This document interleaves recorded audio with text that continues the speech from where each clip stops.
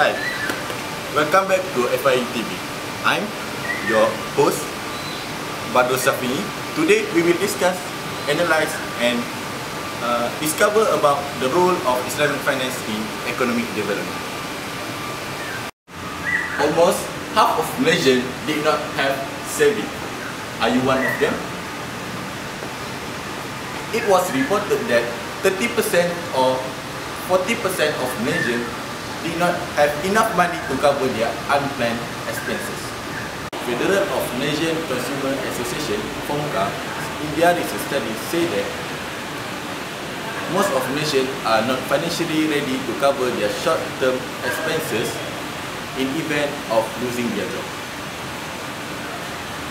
Due to increase in price of household items, some of them even have less than 1,000 ringgit in their checking and saving account. So the question is, how the Islamic finance helping people to mobilize their saving? The role of Islamic finance in economic development is to enhance the mobilization of saving. Saving mobilization is to capture the voluntary saving deposit, protect them, manage them and also to be used to fund loan portfolios.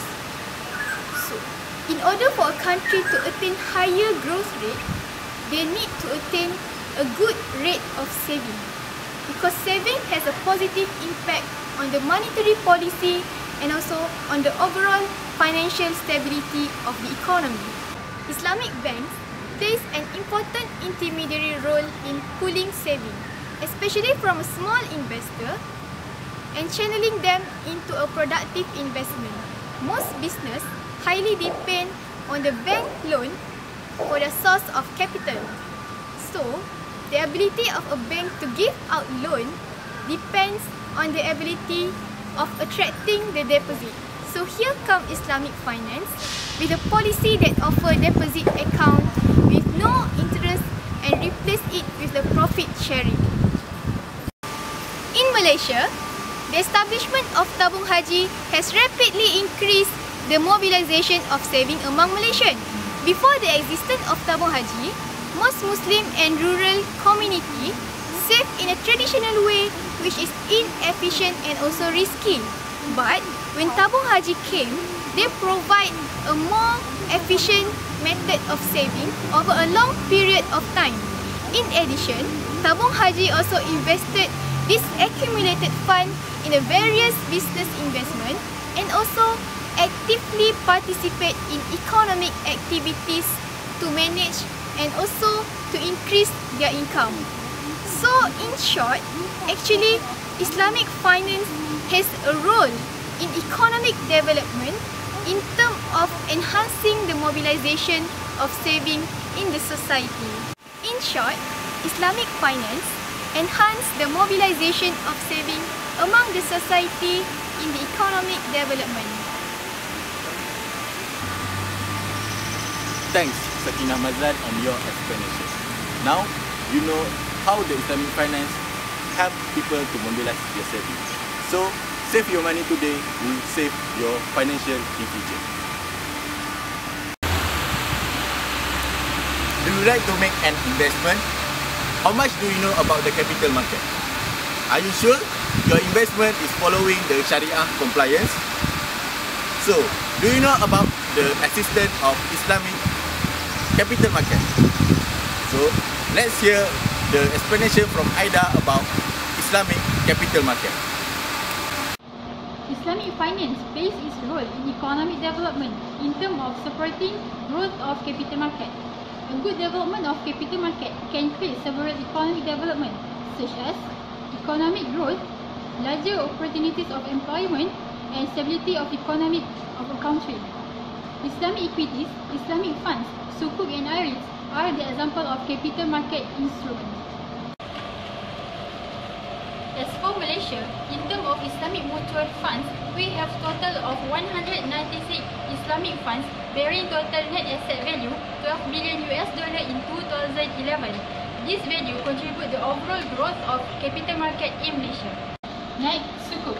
In Malaysia, in June 2012, the amount sukuk that issued by Malaysia has been more than 234.1 billion US dollar. Sukuk industry Malaysia itself has Uh, its in the global industry market share value 71.6% in 2011. Lastly, IREIT. IREIT stands for Islamic Real Estate Investment Trust. Malaysia had three IREIT over 16 REIT of the world, representing 14.2% of the REIT industry market capitalization. Islamic finance offer a solution for poverty which is microfinance. Let's hear explanation from Yasmin Aris about microfinance.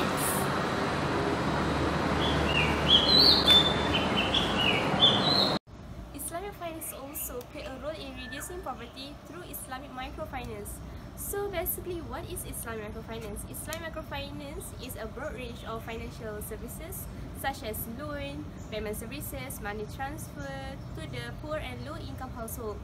Islamic microfinance also um, offer many many of products, and two of them is microsaving and microcredit loans.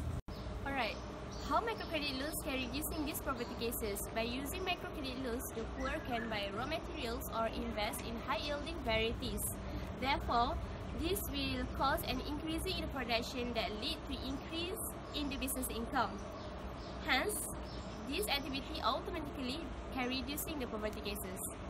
Next, capital accumulation through micro-saving also adequate for growth and development. Micro-saving consists of a small account deposit offered to the poor and low-income household.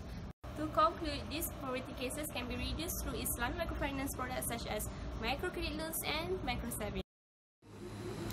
In conclusion, the role of Islamic finance in economic development are to enhance the mobilization of saving, to support the capital market, and also to reduce the poverty. Let's hope the action will be taken to strengthen the Islamic finance and I hope you enjoy our FIE TV today.